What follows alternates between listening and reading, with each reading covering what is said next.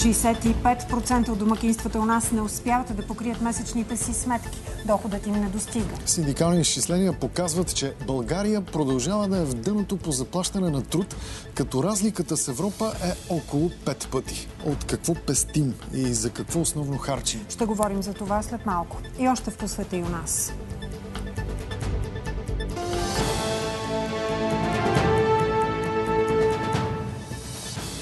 Увеличение на заразените с COVID-19 само за седмица положителните проби са се увеличили от 4 на 8 на 100. Очевидно сме в началната фаза на подем. Тинейджър се събуди след едногодишна кома в напълно променен свят с пандемия от COVID-19. Не знам дали Джозеф ще повярва на тези истории. Как да му обясним света, в който се събужда? Започна регистрацията на партиите и коалициите за участие в парламентарните избори на 4 април. Кои са първите регистрирали се?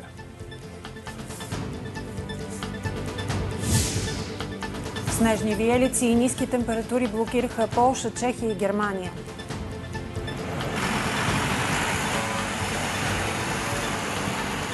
Идва ли лошото време и у нас?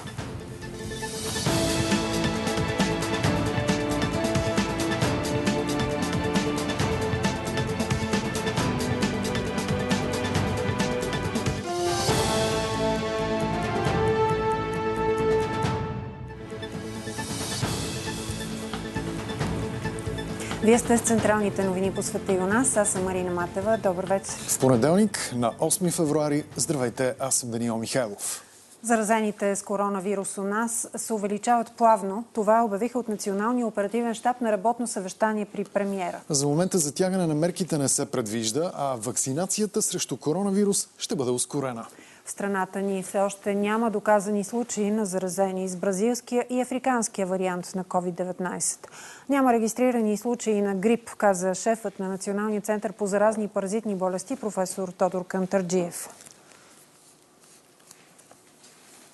Какво показват данните от последните дни? Според оперативния щаб, новите случаи за изминалите две седмици са нараснали с около 40%. Приятите в болница са се увеличили с 10 на 100. Добрата новина обаче е, че броят на пациентите в интензивни отделения остава под 300 и към днешна дата те са 278 души. Само за седмица положителните за коронавирус проби са се увеличили от 4 на 8%. Очевидно сме в началната фаза на подем. А, идеята е с мерките, които прилагаме, този подем да не е експоненциален, да не е прекалено бърз. За целта, според Кунчев, не трябвало да се взимат емоционални решения, които можело да се окажат неправилни. Ако някой е готов да подпише смъртната присъда на още 9000 българи, да го направи, но това не трябва да сме ние. Според премиера Борисов, мерките, които се прилагат у нас, са възможно най-либерални. Отворихме моловете, отворихме магазините, за да може да се разхождат. Не се събирайте така масово. Хората, които са по-активни и които повече циркулират в момента свободно в, по улиците и по молове и навсякъде, те са по-засегнати от коронавируса. Ситуацията може да се подобри, ако броят на вакцинираните се увеличи. Само в последната седмица на февруари очакваме 131 хиляди дози, а в първата на месец март над 160 хиляди дози, което в голяма степен ще позволи да бъде ускорен процеса на вакциниране. Колкото повече вакцинирани, толкова намаляваме полето на действие на вируса. Премиерът и здравният министр опровергаха информацията, че ще бъде спряно изплащането на бонусът от 1000 лева за медиците на първа линия. Държа да подчертая, че средствата са осигурени за работещите в системата. Борисов обясни, че са осигурени пари за добавки от 50 лева на всички пенсионери. Дадени са и милиарди по различните мерки в подкрепа на бизнеса. Буквално се изваждат всички пари, които има в резерва на държавата, без да взимаме заеми към момента това е изключително важно да се знае. С най-низкия външен дълг, с минус 3% дефицит. 50 милиона лева са заделени за подкрепа на затворените заради епидемията сектори, съобщи министърът на економиката Лачезар Борисов. Мярката за пазиме е удължена до края на април. Това каза пред посвета и у нас социалният министр. Деница Сачева съобщи, че са осигурени 13 милиона лева за компенсации на служителите, които остават в неплатен отпуск и през февруари. Те обаче ще трябва да плащат сами здравните си вноски. Валентин Димитров е собственик на ресторанти в Бургас. Изпратил е в неплатен отпуск 18 служители. За един ден от месец ноември и 20 работни дни от декември по, по, по 24 лева, 504 лева за по сметката на хората. Получили са ги около 20 януари. Компенсацията за януари и февруари ще бъде по-висока. В размер на 75 на 0 от съответно от осигурителния доход. Т.е. работодателя не дължи нищо. Ние плащаме 75% от осигурителния доход на лицето. И по-голямата компенсация според Валентин обаче е недостатъчна. И независимо, че хората, които са назначени при нас, бяха на два, на два прага, 800 и 1000 зависимост от позицията, която заемат. Мисля, че беше напълно справедливо да бъдат 650 ля, колкото е минималната работна заплата. Получилите помощ по запазиме трябва да си плащат сами здравните осигуровки. Иначе осигурителен стаж тече и съответно не са дължими други осигуровки, освен здравните. Моята съпруга е с прекъснати здравни осигуровки. Това и тежи като финансово бреме. Рано или късно тя трябва да ги плати. В момента нямаме тази възможност, защото, виждате, не работим. Значени пари, които са им били давани, те реално не са били за тях, а те трябва да ги върнат обратно. Както се казва, когато човек няма пари, 20 лева са много. Според сега действащото законодателство, служителите от затворените сектори могат да останат в неплатен отпуск максимум 60 дни за година. И още за пари, доходът на 65% от домакинствата у нас не достига за тяхната издръжка. Това се учат последните данни на КНСБ за четвъртото три месечие на 2020 година. Цели 16 на 100 е дефицитът на едно 4-членно семейство, за да покрие месечните си сметки. Според синдиката България е на последно място по минимална работна заплата в Европейския съюз. Колко пари са ни нужни, за да живеем нормално? Въпрос към Николай Минков. Здравей! Добър вечер. Според изчисленията на КНСБ, общо 2542 лева са необходимите средства за издръжката на 4-членно семейство, двама работещи възрастни и две деца или малко над 635 лева на човек. Това означава, че чистата заплата на родител трябва да бъде около 1270 лева или 1638 лева брутно. Според статистиката обаче, Средното общо възнаграждение през 2020 година е било 1370 лева, т.е. формира се около 16% недостиг спрямо нужните средства за издръжката на домакинство. На този фон от КНСБ отчитат ръст на средната работна заплата от 8% през последните 5 години. Какви са причините обаче повече от половината български семейства трудно да се издържат? Вижте в репортажа. Моника Димитрова е майка на две деца, работи в русенската администрация. Заедно с съпруга си получава 2000 лева месечно. Голяма част от парите им обаче отиват за сметките, които излизат около 400 лева на месец. Ограничаваме се за отопление и от пестим, защото сега толкова много неизвестности има около коронавируса, но Децата няма как да ги ограничим, защото те растат. Според КНСБ всяко шесто домакинство от 10 у нас живее с общ доход на едно лице под необходимите средства, а близо 1 600 хиляди българи получават доходи от 363 лева, колкото е линията на бедността. Около 65% от домакинствата в България не могат да покрият необходимите средства за издръжка на живота. Според КНСБ България продължава да бъде на дъното на класацията по заплащане на труд, като средната заплата на час у нас е 2,40 евро, а средноевропейската малко на 13 евро или разлика от 5 пъти. Минималната работна заплата е най-низката в сравнение с всички държави членки на Европейския съюз.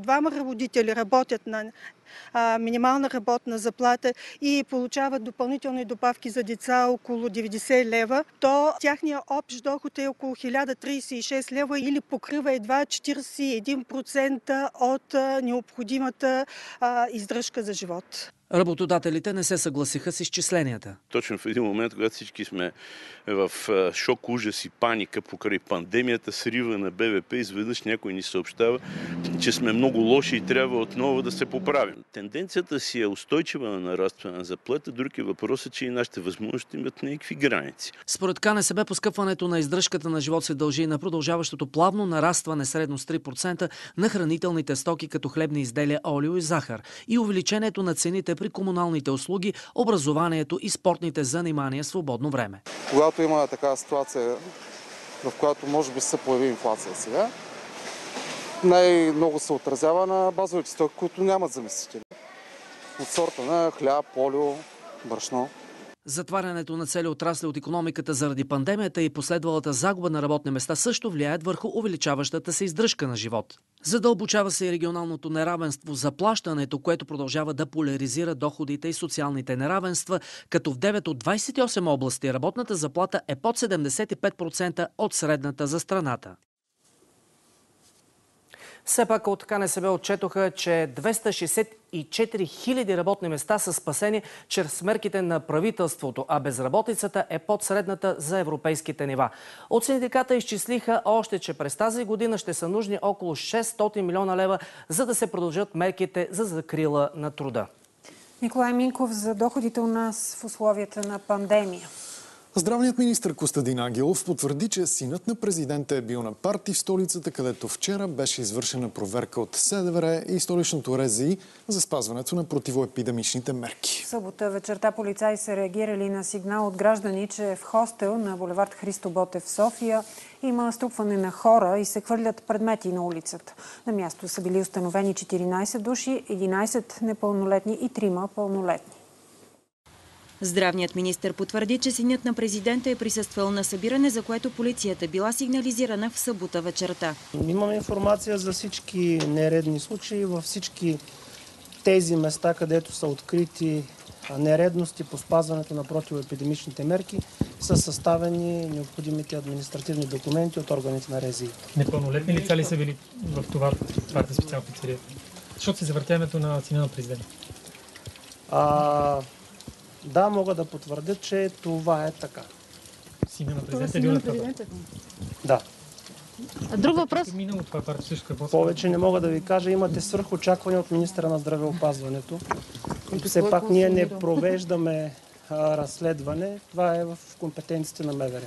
Вчера МВР официално съобщиха, че според сигнал в хостела имало струпване на хора и се хвърляли предмети на улицата. Полицията на място установила 14 души. Оказало се, че 11 от присъстващите са непълнолетни. Според МВР родителите на един от тях отказали да дойдат да вземат детето си, а присъстващ пълнолетен се ангажирал да го съпроводи до дома му. В съобщението не се уточняваше за кой непълнолетен става дума. Не се съобщаваше за задържани. Уточняваше се, че всички непълнолетни са призовани да се явят днес родител в полицията.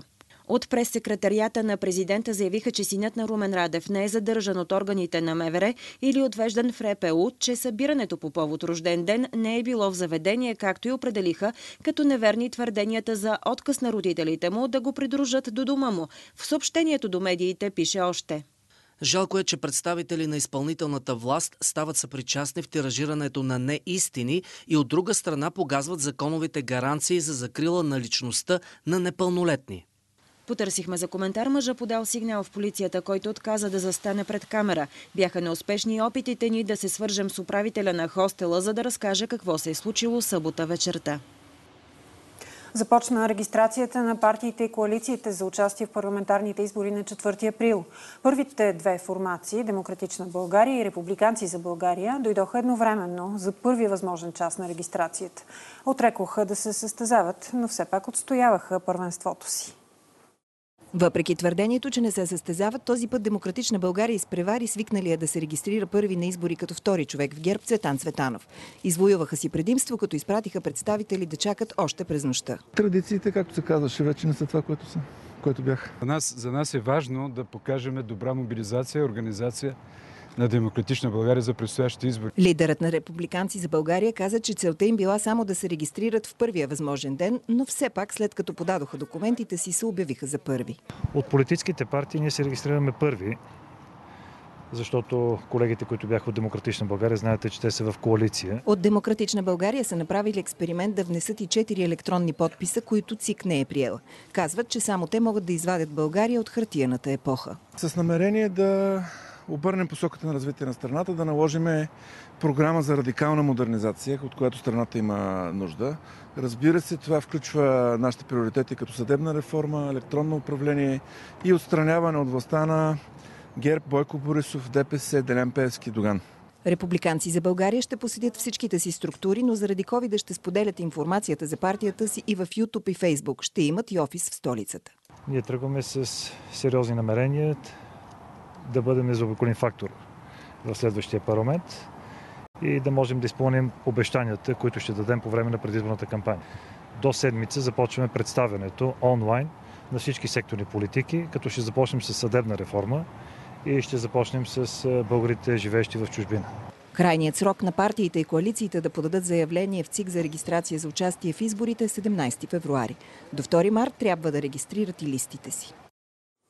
БСП препотвърди до сегашния формат на коалицията от партии, които участват в БСП за България.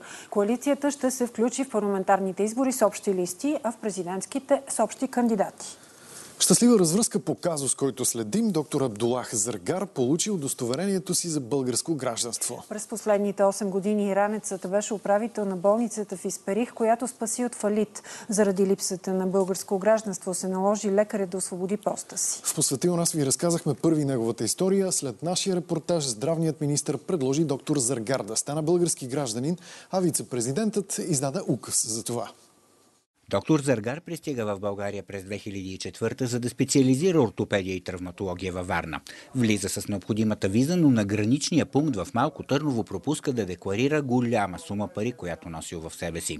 Това става причина да бъде осъден. След като придобива специалност, е заминал за Великобритания, където е работил в голяма болница.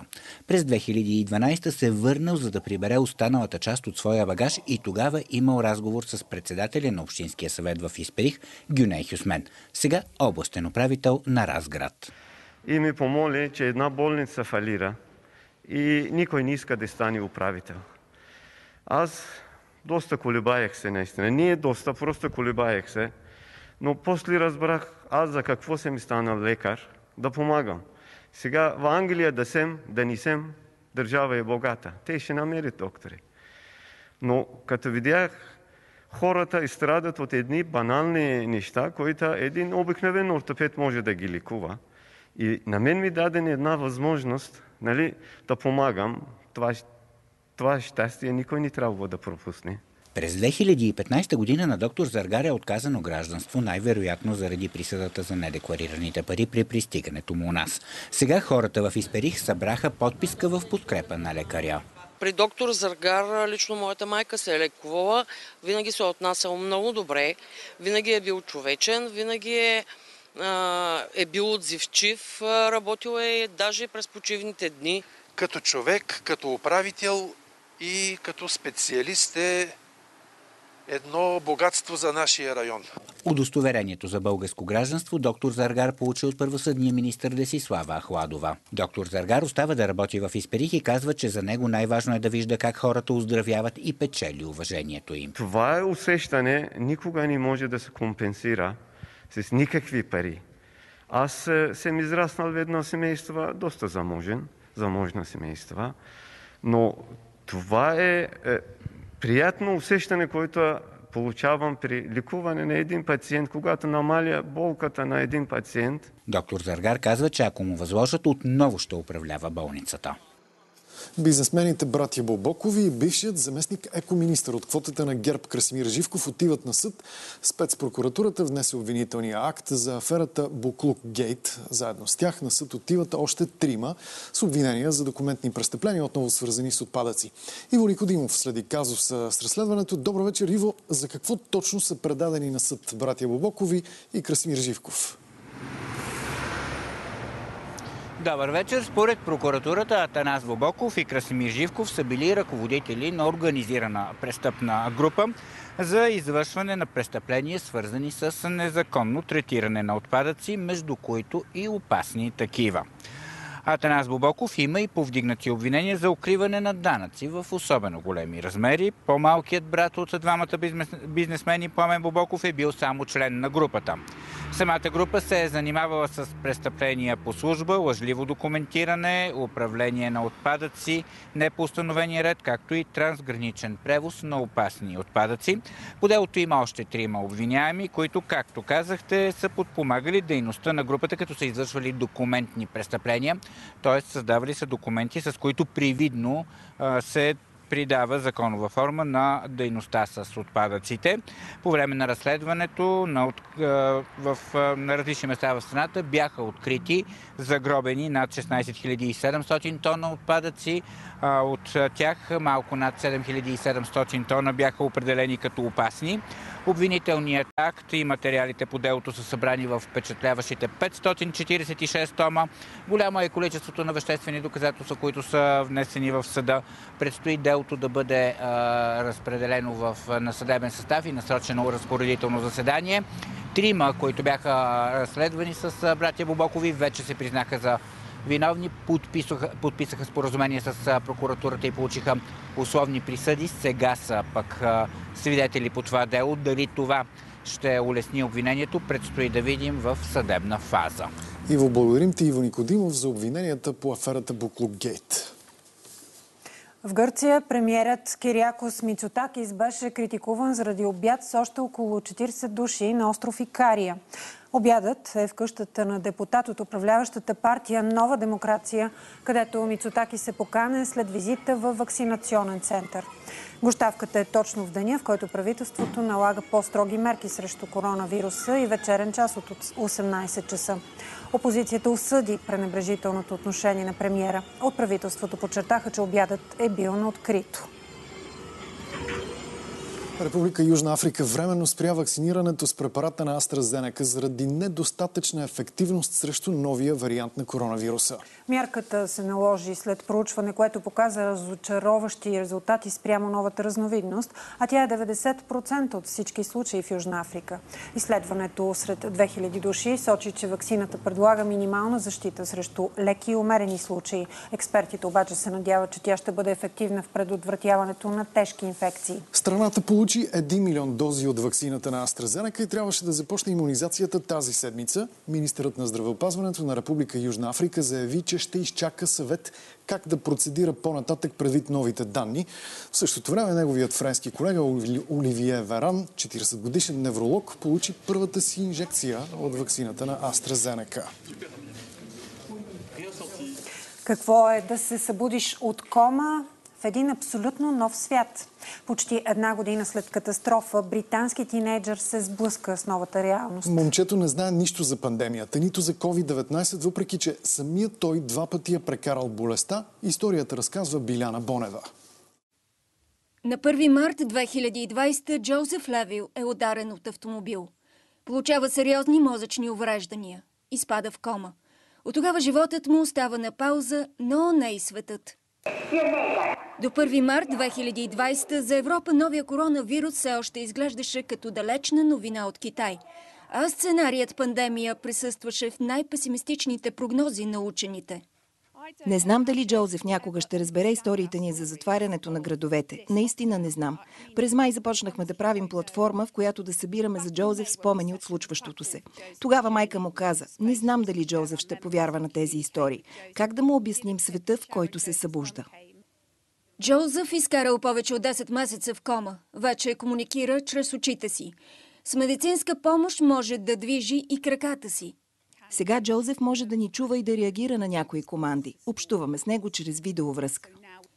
За семейството на младежа трагедията станала още по-голяма заради невъзможността да са при него през всички тези месеци.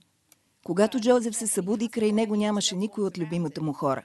Когато някой е в кома, е изключително важно той да чува познати гласове, познати звуци. А Джозеф нямаше как да ги чува.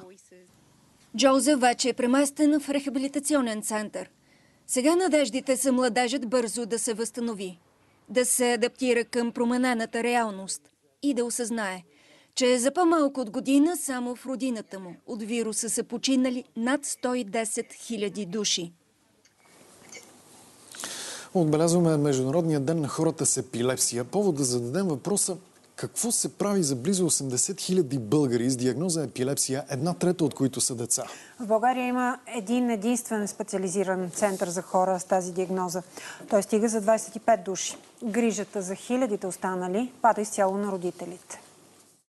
Аз съм лекар по професия спрях да работя, защото нямаше кой да се грижи. Биляна отключи епилепсията на 3 годишна възраст и за около два месеца тя спря да говори. Разказваме в минута една 30 годишна история. Минутата няма да стигне да се опишат всички опити на майката и дъщерята да заживеят по-нормално. Има дефицит на лекарствата. Няма място, което да приеме децата, ако родителите са болни от COVID, например. Някакво спасение през деня намират в този център, единственият, в който служителите са обучени да се грижат за Биляна. Само като се каже, че тръгваме за центъра, тя просто веднага скача. Тук има различни занимания, като а, музикотерапия, арт-терапия. Наистина персонал е обучен да се грижи за тях. Държавата казва, че осигурява парите, но всичко останало е оставено на общините. Административните процедури са дълги. За да бъде този център факт, е трябвало да минат близо 20 години. Всяка една от общините, чрез интегрираните си планове, решава какъв, каква палитра от социални услуги а, да предоставям. Така че насърчаваме общините и организациите в тази посока. Пътят е дълъг, минава през две агенции, две министерства и много бюрокрация. Желанието на общините е оскъдно или почти го няма. А тук, където са успели, законът поставя ограничение. Центърът могат да посещават само младежи до 35 години. След още 4, Биляна няма да се брои за младеж. И опитите за по-нормален живот ще започнат от начало. Благороден жест. 76-годишната Петрунка Русенска от Дома за стари хора в Благоевград дари 40 лева на дете с церебрална парализа. Жената заделила средствата от 50 лева, които държавата отпуска към пенсията на възрастните хора. Още като получила 50 лева към пенсията си за декември, Петрунка Русенска решила да ги дари за операция на болно момиче. Разбрала от свой колега, бивша медицинска сестра, за нуждаещото се от помощ дете. 30 години в ясли съм работила. И за такива деца, не само за такива, изпаднали изобщо в беда. Но възможностите са ми такива, че толкова можах да отделя. Видях и момиченцето и, и веднага отидах при директорката и я помолих, тъй като аз нямах възможност да отида в общината и дадах парите на нея.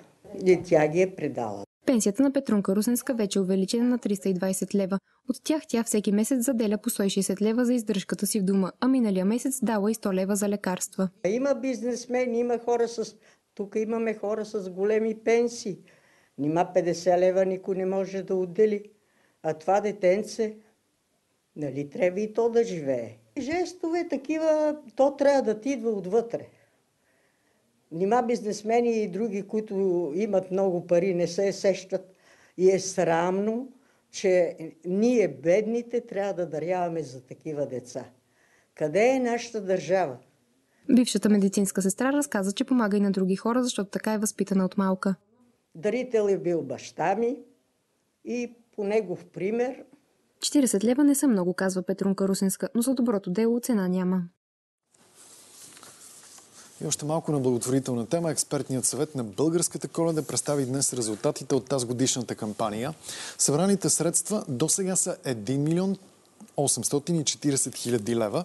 Настоящото издание е посветено на децата с хронични заболявания. Средствата ще бъдат дарени за лечение, рехабилитация и медицински изделия.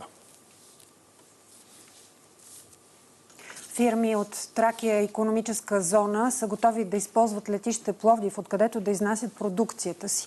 Вече се водят разговори между големи производители от автомобилната индустрия, международни карго оператори и ръководството на аеропорта. През изминалата година летището отбелязва сериозен ръст в обслужените карго полети. Мариела Хубинова работи по темата.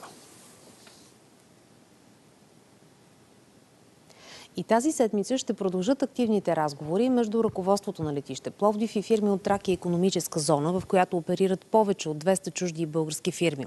От аеропорта гарантират, че ще предложат отлични условия за осъществяване на карготранспорт. Своя офис тук планира да открие каргооператор, който има над 15 години опит във въздушните превози на товари. При едно успешно сътрудничество между бизнеса и държавното дружество в бъдеще може да се използва и близката железопътна линия. Вижте още. Каргополетите у нас са около 30 000 тона годишно. Основно се извършват от летище София. Малките летища, като Пловдивското, се опитват да са конкурентно способни, като предлагат гъвкави решения. Летище Пловдив обясниха, че могат да извършват реално полети и наземно обслужване 24 часа в денонощието, което другите летища ни го предлагат. Благодарение на екипа БНТ стана връзката с Траки економическа зона и летище Пловдив. По време на пандемията нито един от заводите в промишлената зона край Куклен не е спирал работа за дълъг период от време. Затворените сухопътни граници обаче забавят доставките.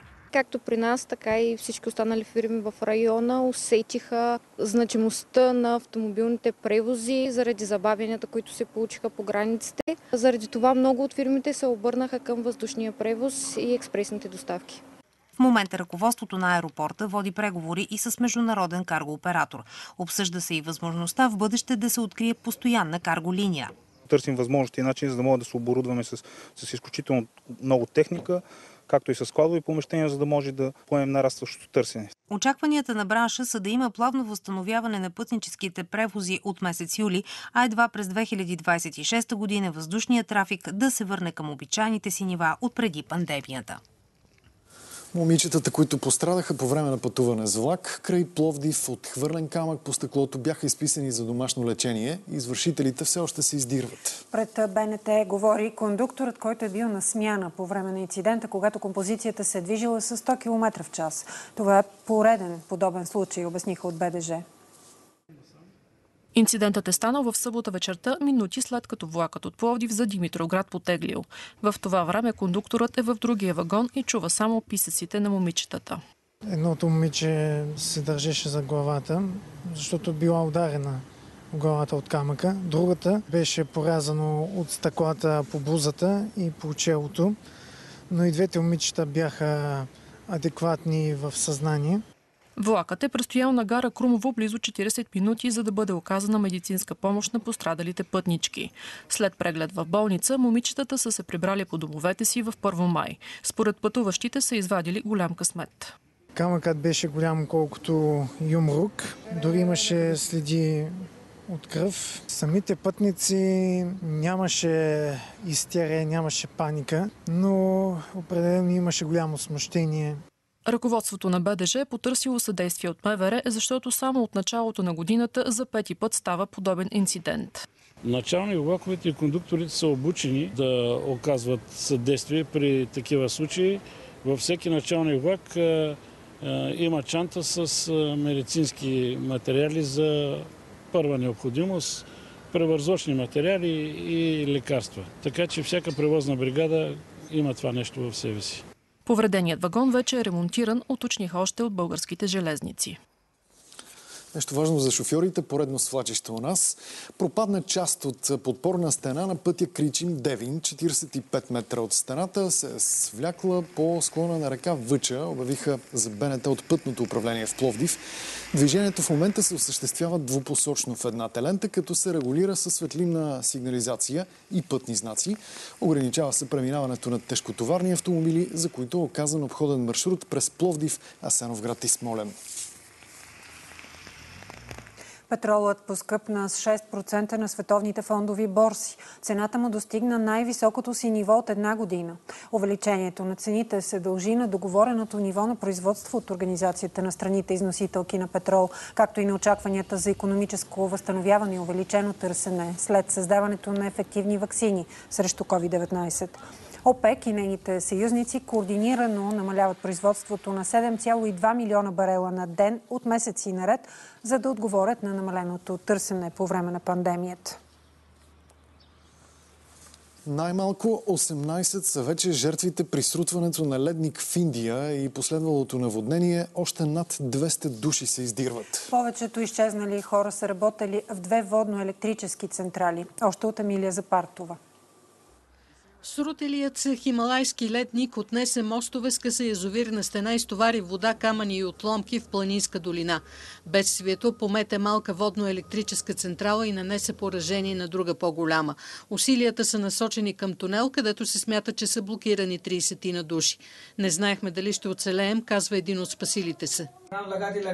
Работехме по тунела, когато чухме викове. Излизайте, излизайте. Не знаехме какво става. Започнахме да тичаме, за да избягаме, когато водата бликна през входа на тунела.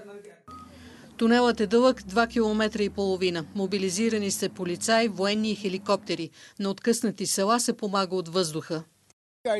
В зоната на бедствие има много гранични полицаи. Китайската граница е наблизо, така че предупредихме всички. В селата Лата и Райни бяха пуснати дажби и помагаме с доставки на храна в засегнатите райони. Ледникът се срути в неделя в района на приток на река Ганг в индийския щат Утъркхант. Наводненията и свлачищата в района не са рядкост. Миналата седмица там е валял много сняг и предположенията са, че на места той се е стопил и е предизвикал лавина. Само за 2019 година бедствия, предизвикани от промените в климата, са нанесли щети за над 19 милиона лева в България. Ураганни ветрове, валежи, засушавания са и причина за изчезване на българските гори. За да противодействат на тези процеси от Югозападното държавно предприятие, разработват нова методология, по която ще бъдат залесявани горските територии у нас. За нея разказва Гергана Гайдарова. Част от изкуствено залесените гори в България умират. Причината – недълновидността на залесителите в миналото. През 60-те години в България започва масово залесяване, а целта е да се преборят наводненията и ерозията. Тогава са засаждани предимно иголистни видове, които към днешна дата съхнат, а специалистите лесовъди се опитват да съхранят естествено появилата се сред тях широколистна растителност. Много често тези видове са сваляни по-низко, извън естественото им разпространение. Освен това са засаждани доста нагъсто. Другата причина е промените в климата. По-топлите и по-сухи лета ги правят още по-уязвими въпросните култури и дърветата съхнат. За да не изсъхват сега засажданите гори, специалистите анализират промените в климата. Целта е да се определи след 100 години къде ще е най-благоприятното място за всеки конкретен дървесен вид в България. Тоест, ако до момента на дадено място е била типична една растителност, тя ние в момента, като я засаждаме гората, трябва да мислиме за визия за 30, 40, 50, 100 години напред, да съдим дървета, които ще бъдат устойчиви в бъдещето, предвид променящия се климат. Заради добива на инертни материали от коритата на реките в България почти са изчезнали и естествените крайречни гори. А те са една от най-сигурните естествени прегради срещу стихийни наводнения. Крайречната гора по Марица край Стамбулийски, например, доскоро е била превърната в сметище. От ВВФ рекултивират терена и започват дългия процес по възстановяване на гората. Там засяхме жълъдите, които пък събрахме от горички, които са запазени от летен дъб тук в района. Решихме, че ще използваме местни происходи. Това е и един от най-добрите начини при залесяването да се запази генофонда на съществуващите гори. Доколко успешни ще са залесителните кампании, зависи и от това, доколко са съобразени с измененията на климата. Окончателните анализи на климатичните промени у нас, които в момента екип от Югозападното държавно предприятие прави, трябва да са готови през май. Снежни виелици и ниски температури блокираха трафика по основни пътни артерии в Полша, Чехия и Германия. В Нидерландия много влакови и автобусни линии не работят заради обилния снеговалеж. Милен Натанасов обобщава зимната ситуация в Европа. Снеговалежи и силния вятър затрудниха основно междуградския трафик в Чехия. Загъсненията на влакове и автобуси изглеждаха за пътниците като малко неудобство в сравнение с изпитанията за шофьорите по магистралата между Прага и Бърно. Идентична е ситуацията в Польша, където силните ветрове причиниха големи снегонавявания по пътищата. В северните части на страната температурата падна до 25 градуса под нулата. В Нидерландия червения код за опасност от лошо време днес беше понижен до оранжева степен. Остава в сила призива към хората да не пътуват, освен ако не е наложително. Много влакови автобуси днес не се движиха заради падналия сняг. Трябва да отида от Амстердам до Зайст, но не мога да стигна. Няма да има автобус. Така че се връщам обратно в къщи. За броени часове тази сутрин в източните райони на Германия снежната покривка се увеличи с 20 см. По пътищата се образуваха километрични задръствания. Голям брой камиони останаха блокирани по магистралата между Тюрингия и Саксония през целия ден. Павлета Тързийска с прогнозата за времето и Нора Шопова с спортните новини са в студиото. Ще дойдат ли студовете и у нас? Павлета. Добър вечер, да, и то съвсем скоро. Но днес се оправдаха предупрежденията за много силен югозападен вятър, с който продължи и преносът на по-топъл въздух към нашата страна. Причината – поредният циклонален вихър, който премина през Балканите. Над 90 км в час е скоростта на поривите в Кърджали, почти 80 в Хасково, около 70 в Сливен, Бургас и Ахтопол. В районите с най-силен вятър и температурите са най-високи. 22 градуса в Ахтопол, 21 в Чирпан, 19 в Велико Търново, в София 16. И след поредица дни с плюс 20 градуса, края на седмицата ще има и минус 20 градуса. Доста сериозна разлика е това. От Нора ще разберем спортните новини. Здравей, Христо Стоичков, днес на 55. Точно така и в спортните новини ще си припомним някои от най-емблематичните моменти на легендарната осмица с, с националния отбор на България. А днес стартира и откритото първенство по тенис на Австралия, където Григор Димитров надигра Марин Чилич с 3 на 0 сета. Още подробности след минути в спорта. Времето и спорт след малко. За финал още една крачка напред към разпространението на БНТ в Република Северна Македония. Обществената медия даде официално съгласие за разпространението на БНТ-4 от Телекома в съседната ни държава. Излъчването на БНТ е стъпка за подобряване на отношенията между двата народа, каза генералният директор Емил Кошлуков. От днес подписах официалното писмо, с което даваме координатите на нашия спътник и приканваме на Република Северна Македония да включи в своя телеком канала БНТ-4. Наземно, чрез пътник, по интернет и кабелно всичките възможности предоставили за излъчване. Вярвам, че това е някаква стъпка в подобряване на отношенията. Все пак двата народа ще могат да гледат телевизиите си взаимно, ние също ще излъчваме македонската, но изрично искам да благодаря на посланника ни в Скопие, господин Ангелов и на българските сдружения – които много улесниха този разговор и техните усилия не са от вчера в тая посока. Трябва да признаем и тяхната заслуга. В 21 започва предаването История БГ. Темата тази вечер – Гоце Делчев. Още новини четете в сайта ни и мобилното ни приложение. Хубава вечер от нас. Довиждане.